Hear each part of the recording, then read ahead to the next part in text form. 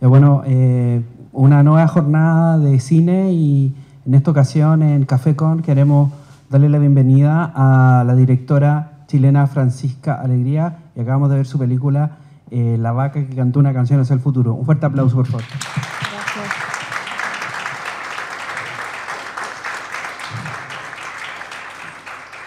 Eh, felicidades Francisca, una estupenda película. He quedado asombrado y maravillado y en paz y en armonía con la naturaleza, creo.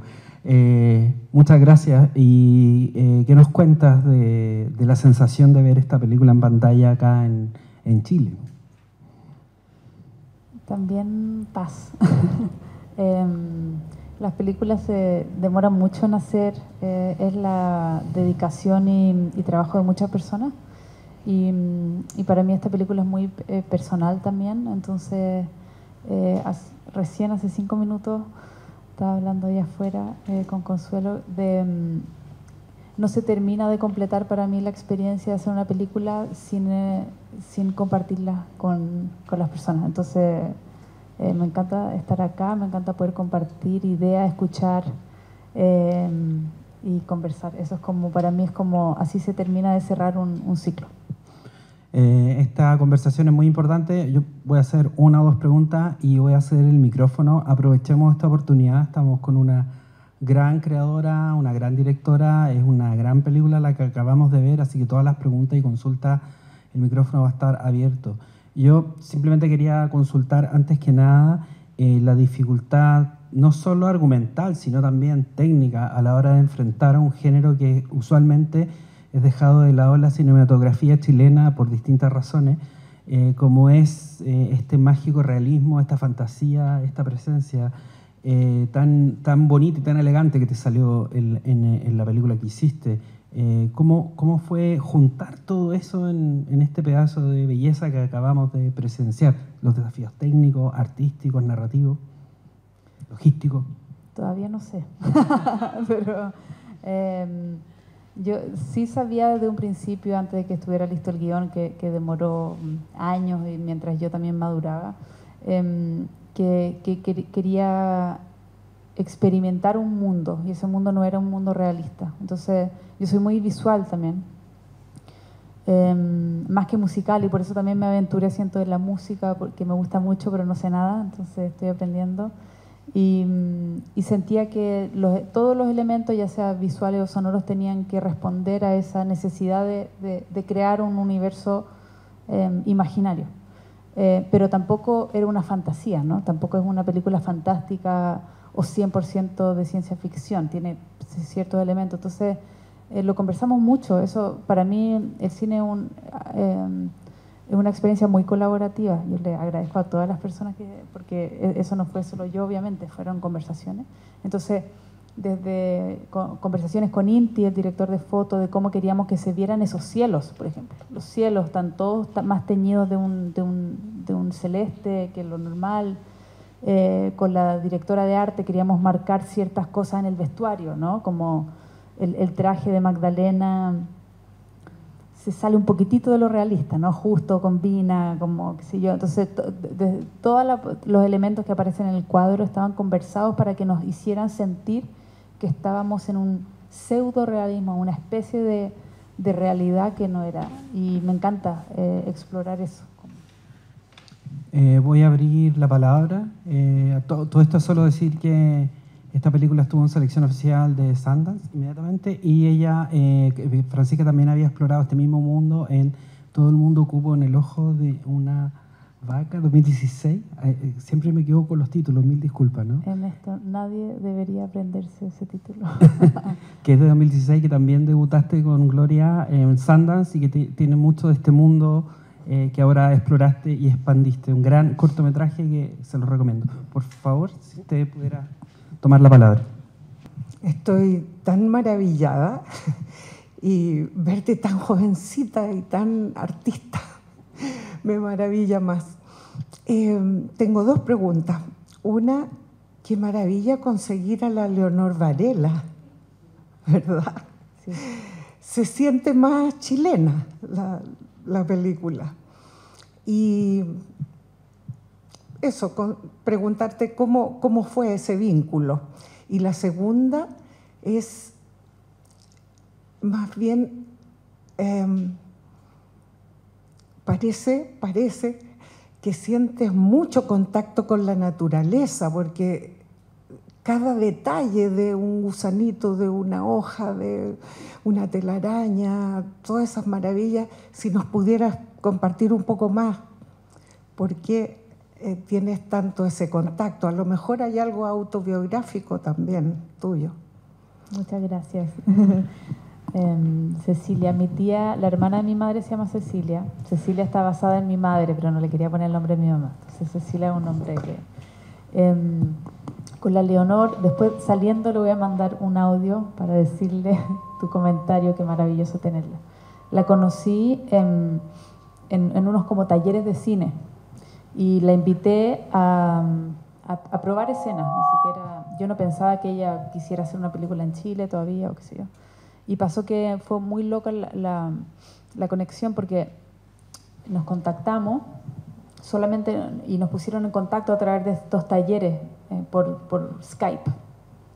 No había pandemia, el Zoom todavía no existía. Entonces, y, y, hablamos y me dice, Francisca, mucho gusto, ¿cómo estás? Oye, em, tú me habías mandado este guion hace, hace unos años atrás, qué buena. Y yo, no.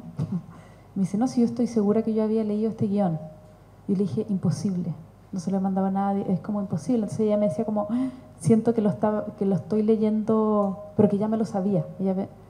Y me hizo dudar y mirar en mi mail a ver si que yo se lo había mandado, busqué y no, porque yo nunca le había hablado con ella. Entonces, como que siento que desde ahí, desde la primera llamada, fue como ya listo.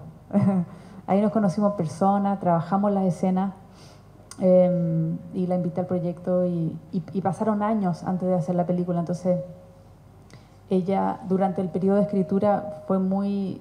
Eh, había mucho de ella, de la Leo, de Leonor, en el personaje también.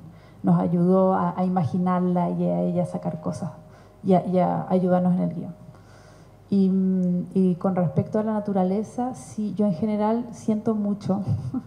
y eh, mi, mi niñez Em, la, pasé mucho en el campo de mis abuelos en los Andes y yo diría mis grandes experiencias de la infancia ocurrieron ahí, em, en los Andes y, yo salíamos a caminata y de repente andar a caballo y nos íbamos a la, a, la cordillera por dos semanas con mi abuelo, mis primas, mi hermana y ahí hice mis primeras películas.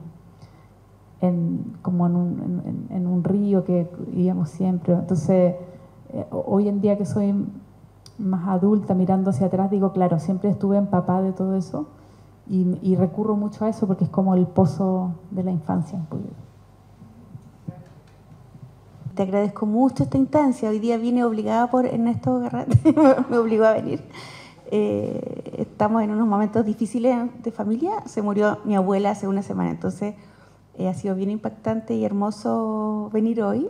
Ya te conocía de antes, por supuesto, y tuve la oportunidad de ver la película siendo jurado de FEMCINE hace poquito, pero es mucho más lindo verlo en una sala, sabemos, y en esta sala más aún, porque suena demasiado lindo.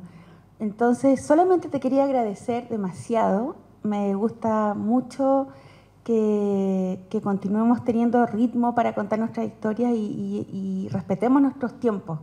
Y eso es, se agradece mucho. Me gustaron demasiado. O sea, voy a ver la película de nuevo tres veces más seguramente, porque se necesita, pero te agradezco por la valentía y, la capacidad de, resumir eh, tanta belleza, belleza de la tristeza, belleza del futuro, del pasado y del presente. Y, egoístamente te agradezco porque me, me ha hecho el día mucho, mucho mejor de lo que pensaba que iba a terminar. Así que eso por ahora y gracias a esta sala hermosa que tenemos también. Eh, es un aplauso, por favor, de nuevo. Gracias a ti.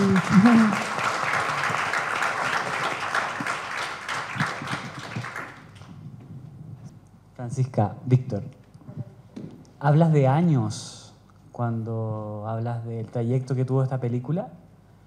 Eh, me gustaría saber cuántos años son y no sé, cuál fue la trayectoria un poco de esta idea no sé, por los cinco años estuviste encerrada escribiéndola con tus más cercanos y después empezaste ya a mostrarla y no sé, de repente postulaste alguna instancia de mercado, algún laboratorio de guion, este taller mismo que escribías. Eh, cuéntanos un poco más de cómo fue la trayectoria de esta película. Igual te lo hago desde muy desde el mundo audiovisual también. Sí, gracias. Em, sí, es que, es que eh, los recorridos son largos para el cine independiente. Em, esta película finalmente fue financiada por fondos franceses, alemanes, chilenos, suizos y, y Estados Unidos. Em, la primera semilla de la peli la escribí en 2011. Escribí un guion, como el guion vómito, que le digo que es como que no paré. Escribí, empecé la página 1 y terminé la 88 y no, me, no, no, quise mirar atrás. Entonces dije, ya aquí saqué algo. Em, pero luego me fui a estudiar, fui a hacer como un posgrado a Estados Unidos y ahí la dejé reposar un, un año, un dos años, pero luego lo, lo trabajé en clase y, sí, me postulé eh, a un par de fondos de guion, eh, entonces, eh, perdón, de, ¿cómo se dice? Como residencias de guion, ¿no? Entonces lo trabajé en un laboratorio de Sundance, trabajé el guion, y, y, en otros laboratorios más pequeños como más autogestionados. Em, y luego ya con ese guion sí fuimos a dos, veces, a dos mercados, un mercado en Rotterdam que se llama Cinemart, y otro mercado em, en Holanda, que estaban recién empezando. Entonces ahí eh, fuimos en el fondo a buscar más financiamiento europeo. Entonces la, película, desde el 2011, que fue esa primera como chispa, eh, luego lo volví a agarrar el 2016. Y de ahí empecé a postular al fondo chileno, que no me lo gané, a la tercera creo que me lo gané.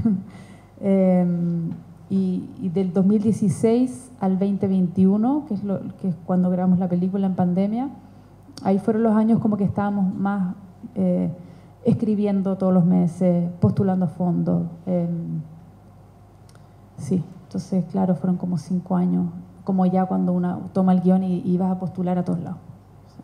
Sí, por favor, la última fila.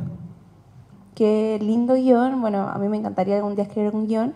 Y bueno, tú hablas de que hubo un vómito de guion por ahí, ¿cierto? Eh, ¿Tienes un consejo eh, para este proceso creativo, ¿no? De cuando surge una chispa, surge una idea, ¿de qué te rodeaste tú, ¿cierto? Para seguir escribiendo, contextualizando también que estamos en Chile, que es un poco difícil, ¿cierto?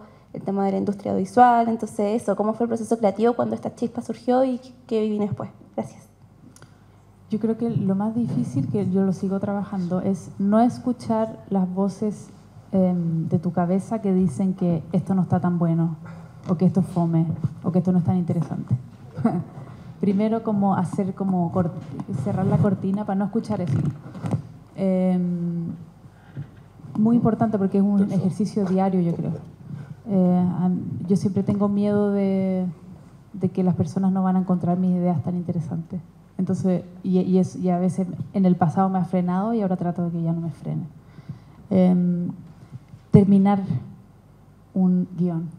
No importa que, que escribáis una escena que no está lista, que a ti no te convence, llegar a la página que tú pienses que es el final y terminarlo. Y luego reescribir, si el cliché, ¿no es cierto? Como escribir es, reescribir. Em, no tenerle miedo a llegar a ese final porque nosotros como la mayoría somos, ¿no es cierto?, perfeccionistas, queremos que todo esté bien y no, nos da miedo mostrar algo hasta que no esté perfecto y esa perfección eh, es que realmente no existe, pues es súper subjetivo. Entonces em, nos quedamos en eso, ¿no? Como si quiere escribir guiones, uno se queda en las 30 primeras páginas. Y entonces y ya no sabéis cómo seguir y vuelves a la primera para perfeccionar esa primera escena. No, olvídate eso. Llega hasta, hasta el final y después vuelve. Pero hay que ponerse esas como, no sé si llamarlas metas, no me gusta la palabra como meta, pero atreverse a, a sacarlo, ¿cachai?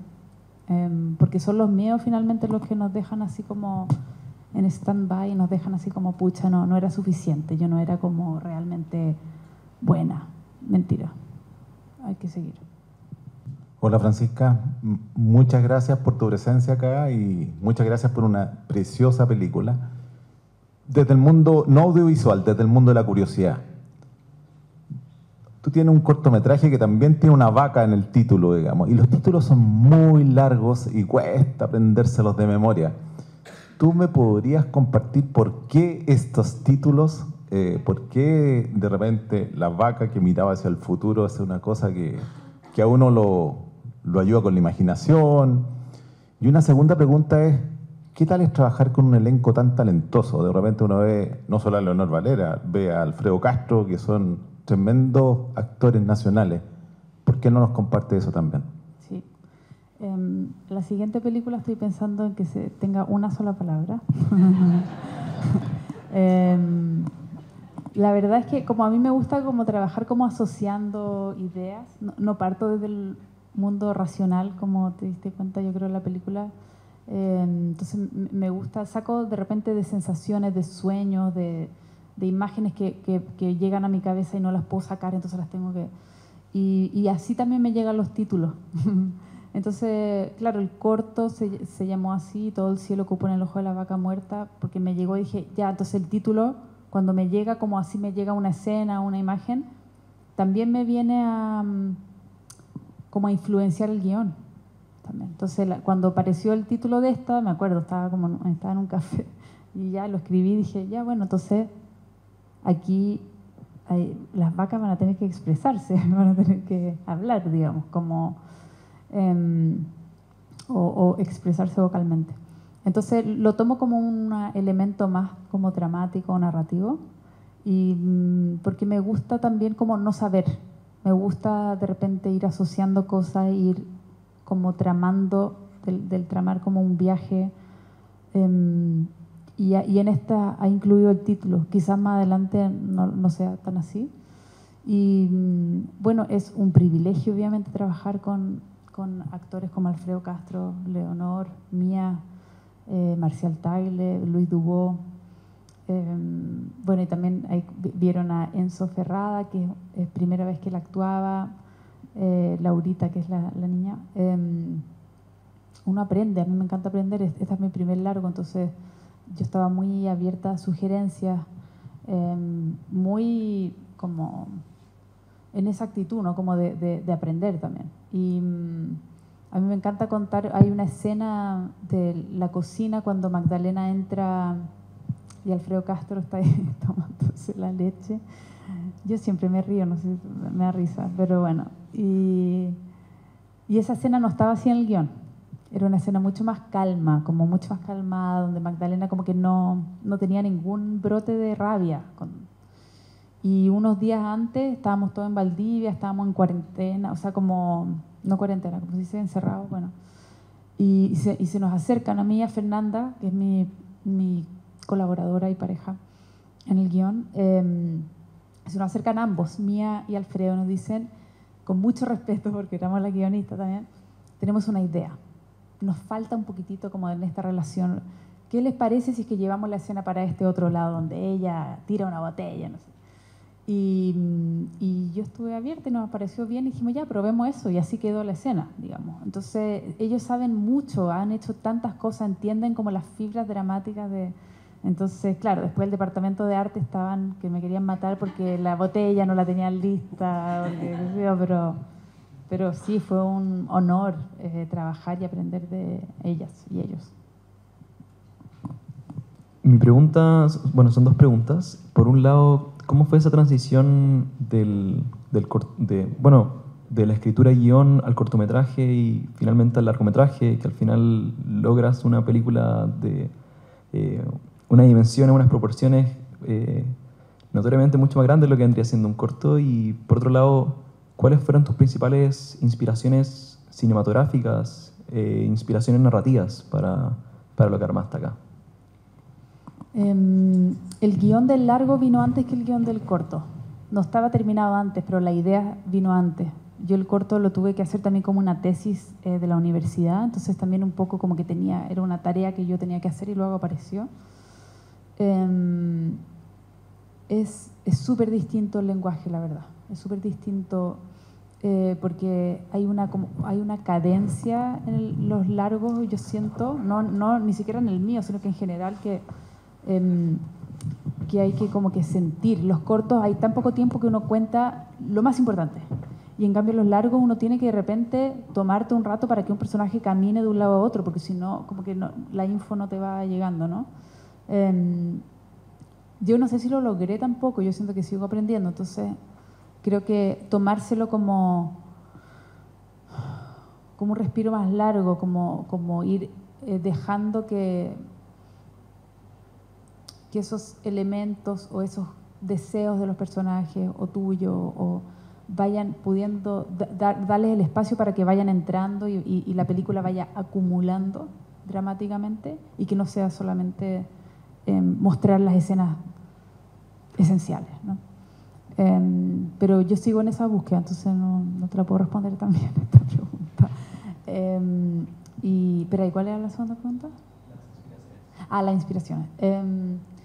yo reviso harto pinturas y literatura. A mí me gusta mucho, eh, estudié un poco de literatura, pensé alguna vez en tirarme más hacia la literatura que el cine, entonces yo creo que tengo muchos referentes latinoamericanos de, no solamente de realismo mágico como, em, como García Márquez o, el género un poco más tirado a lo fantástico como Cortázar a veces en sus cuentos, eh, Borges, em, la Isabel Allende, también como otros tipos de literatura más extraña, ¿no? Como que esta peli, yo sé que como que la enmarcan en, el realismo mágico, pero como yo me gusta la literatura mucho, no es solamente del realismo mágico, los géneros de lo fantástico también están aquí, incluso ciencia ficción, entonces, eh, y, reviso muchas pinturas, me, me llaman la atención ciertos colores o ciertos como ánimos de pinturas que hay, entonces mm, voy así como acumulando como un pozo.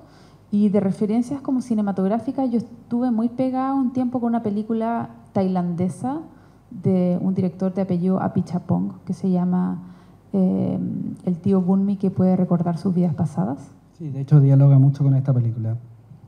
A mí me, me impactó mucho esa película. Entonces, como ahí, ahí podría haber un referente, yo diría como cercano, pero hay otras películas como de los 40, blanco y negro, de una directora ucraniana que se radicó en Estados Unidos, que se llama Maya Deren, que tiene películas surrealistas, que, yo creo que fue de las primeras que integró los códigos surrealistas en, el, en, la ficción, que tiene películas bellas, cortas, eh, que me han inspirado mucho.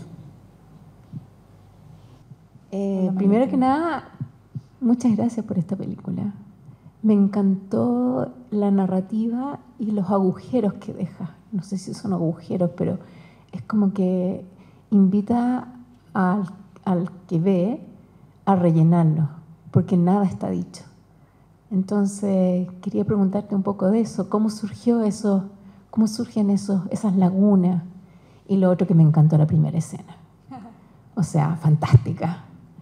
Eh, invita, impacta, no sé, como que te despierta todos los sentidos. Muchas gracias. Gracias. Em, yo no sé si es tan consciente. Yo veía la película en la sala de edición y yo decía, no se entiende nada, y, y sufrí, porque yo creo que a mí me cuesta de repente, em, em, como el lenguaje verbal, me cuesta, siento más que otras personas, entonces siento que es mi forma como de poder comunicarme y a veces caigo quizás en que me confundo, pero lo que sí yo veo y que, y que me gusta mucho es como acercarme a lo misterioso, acercarme como a una tela que nos separa de ese otro mundo que, que para mí está el mundo de los muertos, está el mundo de la naturaleza que tiene su propio lenguaje que yo traté de no imitar nada, sino que es una, una, invención, pero la naturaleza me imagino que tienen canciones mucho más lindas que estas, ¿no? Como que entonces, me, gusta mucho como imaginar qué hay detrás de eso y trato de acercarme ahí. Yo entiendo que mientras más uno se acerca,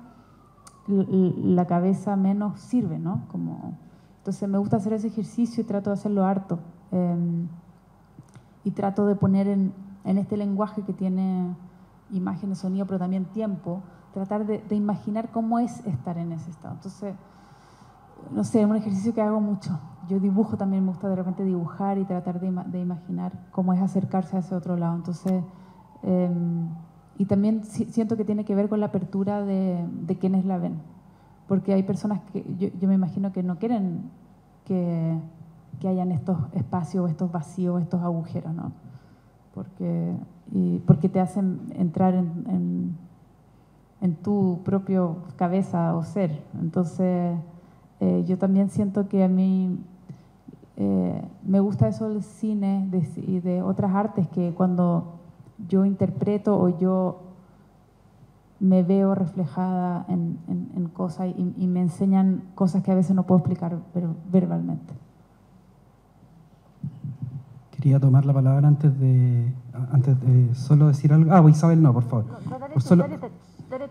solo, Solo, quería reforzar la idea de, eh, antes que se me vaya la idea, porque soy viejito y se me va la idea. Eh, se me fue la idea. No esta, idea de transformación. Vemos el personaje de Leonor Varela al inicio, una mujer muy racional, una médico exitosa que trabaja en una clínica exitosa, y vamos viendo su viaje de deterioro de lo racional y que entra en este mundo que es como eh, metafísico y, casi espiritual, y ve fantasma, o sea, ve fantasma. Eh, esa reflexión me gustó mucho desde el punto de vista eh, visual, lo, creo que tiene mucho éxito eh, eh, está muy bien hecho y quería también saber si eh, al momento de filmarlo y al momento de hacerlo, el trabajo con Inti Brión, el director de fotografía, el departamento de arte, estaban, estaban como conscientes de ese periplo que va desde este mundo súper material hasta la última imagen que es preciosa y que es súper jodorowskiana, Hacia, hacia ese otro mundo cuando tú corres el velo.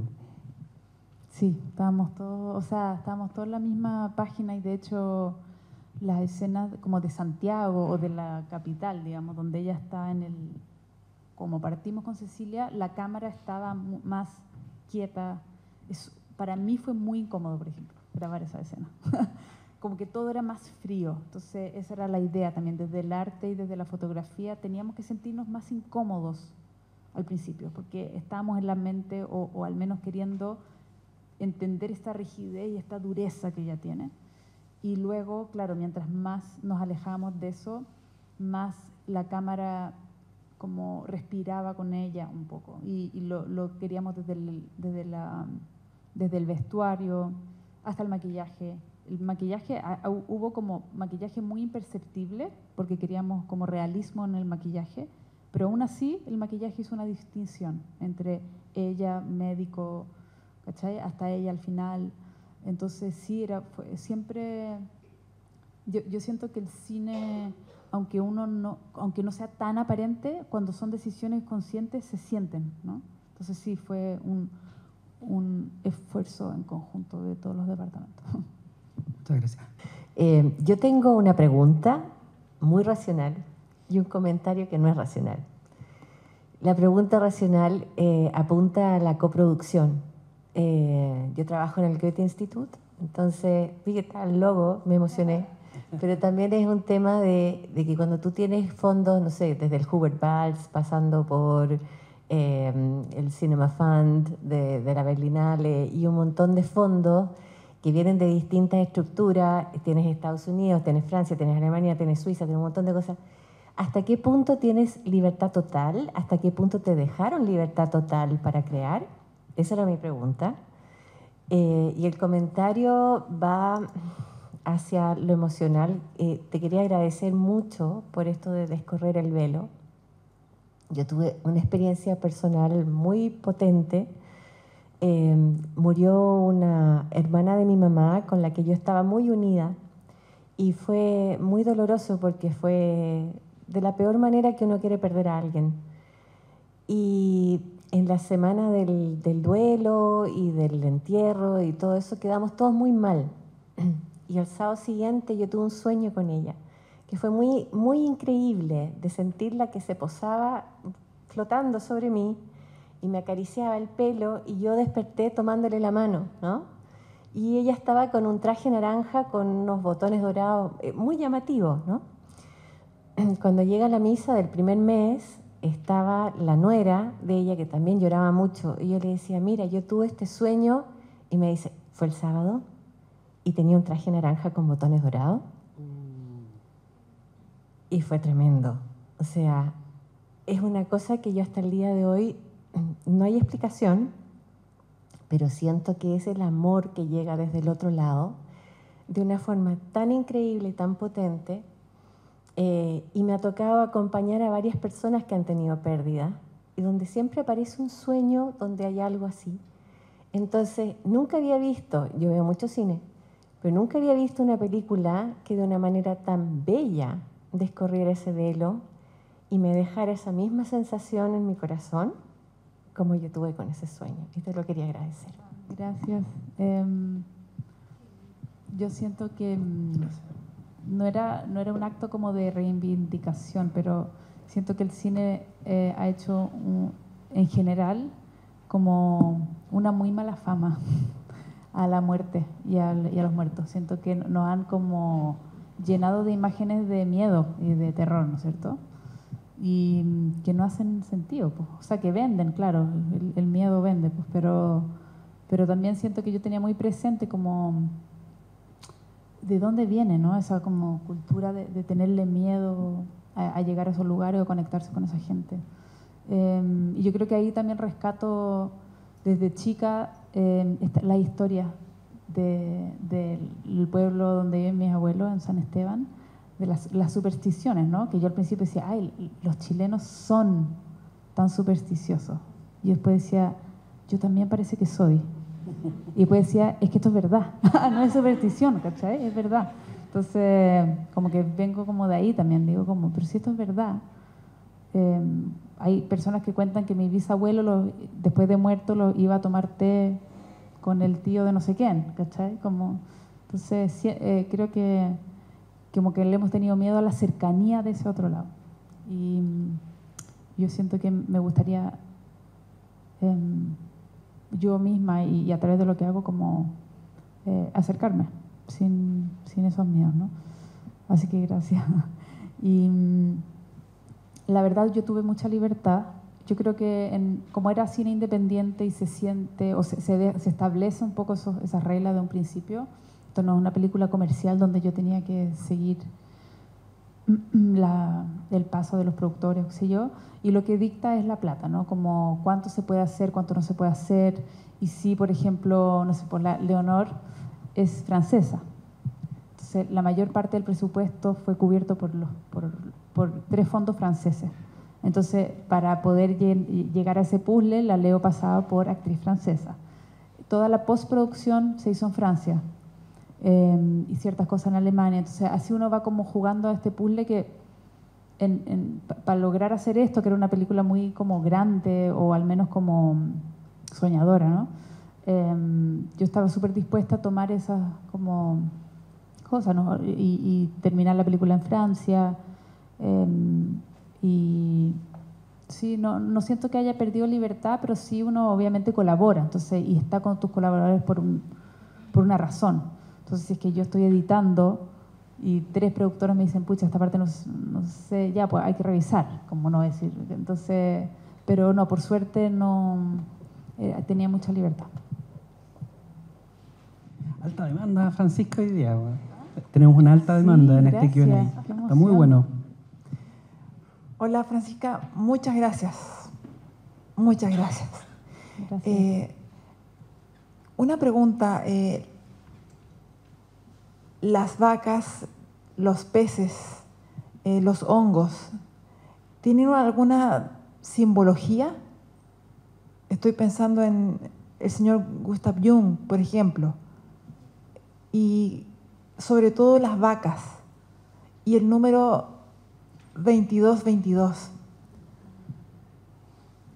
Sí, y, como, como, sensación de, espectadora, eh, pensé en, la leche, en, esto de la inseminación, cuando están inseminando a una, eh, me dio asco, y mucho. Sí. Eh, no sé si era el objetivo, uno de los objetivos de la película, pero a mí mucho asco tener encerrada a abejas, verlas volar. Eso. Pero eh, existe un simbolismo respecto a los animales, porque esos y no otros. Sí. Em, Muchas gracias. Sí, a ti. 22, 22. eh, bueno, partamos por ese número. El guion decía 333. ¿Ya? No era el 22, 22. Pero pasó que cuando fuimos a la lechería donde íbamos a grabar, eh, nos mostraron unas vaquitas que podían ser las, las protagonistas, ¿no es cierto? Y, y, habían unas, porque eran más dóciles que otras, porque la verdad es que la vaca 2222, que, es, que, es, que el animal handler la apodó Leonor, por Leonor Varela, eh, ese era su número, era el número de la vaca. Y a mí me gustan las repeticiones de los números, y el número 2 me salió mucho durante esta película porque es un número femenino. Es un número que si, si es que uno eh, en numerología también uno podría sentir que es eh, una persona arrodillada. El número dos, que es, porque el uno es solo, es unitario, es, solo, es más como el número más como, individualista, ¿no? Al ser dos ya hay un, una, se, juntan do, dos lados, ¿no? Hay como una dualidad junta. Y el dos es un número femenino que yo sentía que eh, hay una cierta rendición desde lo femenino que yo quería explorar y estoy explorando mi vida hace mucho tiempo y también en esta película. Entonces apareció esa vaquita con ese número y dije, listo, ese es el número, no, no olvidémonos del guion, este apareció ella. Eh, las vacas, bueno, son un animal femenino, ¿no? Los peces representaban lo masculino que, que, que estamos dejando atrás de cierta forma. No digo que sea algo malo, todos tenemos masculino dentro, no digo que sean los hombres los que estamos dejando atrás, sino más bien estamos recuestionando los patrones muy rígidos masculinos, ¿no? que tenemos que tener, tenemos que tener ambos lados, el masculino y el femenino, que para mí estaba muy representado en Tomás, ¿no? un personaje trans que tiene ambos lados. Eh, y entonces las vacas venían a ser el cuerpo femenino que estamos explotando hace mucho tiempo usado para nuestro beneficio, eh, sin importar lo que ellas sientan, ¿no? porque hace muy poquito nos dimos cuenta que los animales sienten y que es algo que hemos querido bypassar porque no nos conviene empezar a sentir empatía por los animales porque los, los usamos, ¿no es cierto? Y, y, las veces que fui a visitar lechería eh, me impactó mucho, mucho, mucho, mucho. Eh, que ellas no eligen, po. Te llaman, ven catálogos de material genético de toros de cualquier lado, llegan barriles con ese material genético, las inseminan y ellas no eligen. Y eso me, a mí me, me, me, mató, o sea, como que me, me afectó mucho. Que siempre fue parte del, del, del, guion, pero ya al estar ahí y, y entender que nosotros tan inconscientemente comemos su carne, nos tomamos su leche, eh, es como que me, me afectó mucho. Entonces lo quería mostrar. Queríamos mostrar que al menos si uno quiere tomar leche de vaca, está bien, pero entendamos de dónde viene. No nos hagamos los boys, ¿no? Como eso. Y las abejas son eh, lo que la miel era como el elixir de la vida eterna, un poquitito de los egipcios. Y, y, otras culturas también usan la abeja como un símbolo de vida, porque lo que da la miel es como, es como el oro, ¿no? Como un oro. Entonces, eh, siento que, aunque estoy diciendo todas estas cosas que son terribles, eh, yo igual creo en nuestra humanidad. O sea, yo sí creo que podemos como ir aprendiendo y, y, ir como coexistiendo con, con, el resto de los seres mejor, de mejor forma. Entonces sí, estaban estos tres elementos. Y, y, las canciones también las trabajamos acorde, como lo, era un coro masculino los peces. Entonces eran, son voces de hombres. Las vacas voces de mujeres. Las abejas juntos, eran hombres y mujeres cantando. Eh, entonces como que ahí, eh, por ahí va esa, esa búsqueda. Me encanta hablar y monopolizar todo, pero no creo que sea la ocasión. Eh, es que, no sé, como que he estado muy pegado viendo cómo me da la gana de Ignacio Web, eh, la 1 y la 2. Y hay una pregunta que le hace a un realizador nomás, pero que me parece súper importante. O sea, yo se le haría a cualquier realizador, como de cine, o cualquier persona que se dedique como al trabajo creativo. Eh, y tengo la oportunidad de hacértela a ti en este momento. eh, y es, bueno, una es, ¿qué sentido tuvo para ti esta película? Como, ¿qué sentido tuvo eh, hacerla? Y más grande aún, ¿qué sentido tiene para ti hacer cine? Eh, bueno, la primera, yo siento que eh, ciertas temáticas que se en la película las pude como vivir, las pude como encarnar, en el sentido de en la colaboración con mis colegas de humanos y de equipo técnico, eh, entendí que todos éramos igual de importantes. No había, entonces, por ejemplo, eh, un día que, fue más duro para mí, em, eh, hicimos un break de almuerzo, fuimos a almorzar y las chicas del catering, que eran muy dulces y un amor, me dieron una comida hecha por ellas, que me dije como sin esta comida que ellas nos están dando a todos nosotros, esta película no se hace, no se puede hacer. Entonces como que siento que como lo tuve muy presente, que cada una de las personas son igual de importantes, independiente, o sea, independiente del rol, ¿no? Todos tenemos distintos roles, hay un director o directora, hay un eh, gaffer, hay un director de foto, pero eso es para mí como esta importancia del, del trabajo colectivo se hizo, no era una idea teórica, era, esto es verdad. Eh, ¿Y la segunda cuál era? Es que, bueno, uno es un privilegio poder hacer cine o poder hacer cualquier tipo de arte porque significa que tenemos tiempo y tenemos nuestras necesidades básicas cubiertas, ¿no? Como, entonces yo lo veo como un privilegio y el sentido para mí es como, es reflexionar, yo siento, que, que es eso, es tener el privilegio de reflexionar, que puede ser con un libro, con una pintura o con una pieza musical, Em, porque la reflexión, como que hace poquito estaba pensando, que em, como que si viéramos como el universo como pensamiento o como vibración, pongámosle, que siento que los planetas son como eventos y son eventos fijos. Y todo el resto del negro o del espacio o del no espacio en realidad es como reflexión entre cada evento. Y siento que la vida sin eso, em, o mejor lo voy a poner en positivo, la vida con eso em, se enriquece al punto de encontrar la felicidad para mí. Como, por eso, ojalá todos pudiéramos expresarnos de alguna forma, o sea, ojalá todos tuviéramos las necesidades básicas cubiertas para poder hacerlo. bravo. Yo solo quería agradecerte porque gracias a este tipo de películas que uno eh, llena esas necesidades espirituales o que van más allá de las necesidades biológicas. Uno sale con el espíritu hinchadito después de ver eh, tu película. Y quiero agradecerles a todos ustedes por haber venido hoy día. Es una convocatoria muy buena y eh, este conversatorio de verdad ha sido excelente. Muchas gracias. Deberían estudiar periodismo, esto es muy buena. Muchas gracias y buenas noches. ¿eh? Muchas gracias. Gracias. Muchas gracias, Francisca, por